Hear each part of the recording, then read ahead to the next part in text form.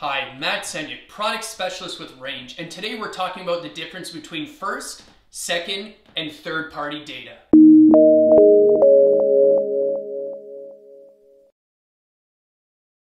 Now, as a marketer, there is nothing more important to you than your data. And one way for you to categorize your data is by ownership. So, who owns the data? First party data is data that you own that you've collected directly from your customer.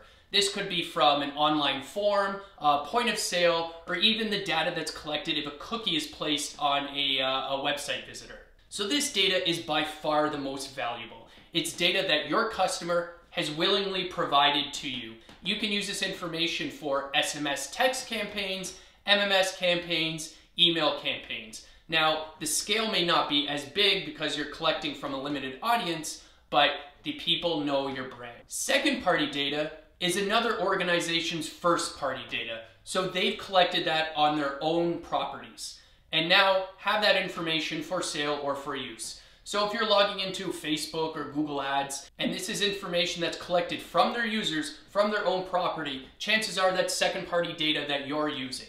Uh, another example for, uh, for sales in particular is that insurance companies have data knowing when somebody has been in an accident. They can take that information, sell it to an automotive dealer, and those dealers know who to target for a new car sale. So second data can be very valuable if you know what type of data that you're looking for to augment, once again, your data. And third party data is data coming from an aggregator. This is an organization that's purchasing it from all different sources, packaging it, packaging it together, and selling a data set to companies like yourself or likely your competitors the information is not as valid, but very easy to acquire.